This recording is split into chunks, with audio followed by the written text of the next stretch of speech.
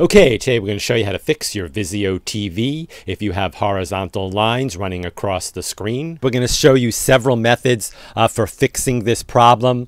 Um, if you stay with us all the way to the end of the video and try each of these methods, uh, there is a very high probability that uh, this problem will be solved for you. Okay, the first thing to try here is really the simplest, and in most cases, this one will actually work, so you might not even need to go on. Uh, just basically unplug your TV from the wall.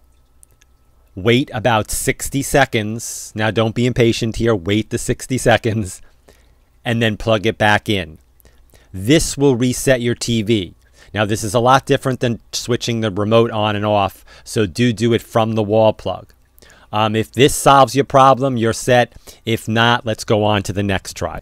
Many times, the source of this problem is your HDMI connection. You want to make sure your HDMI cable is securely plugged into the back of the connector.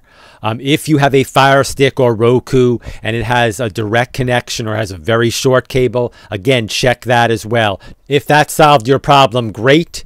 If not, I want you to move the HDMI connection to another port. Most TVs have at least two or three of these ports. Uh, look around the back or the side of the set.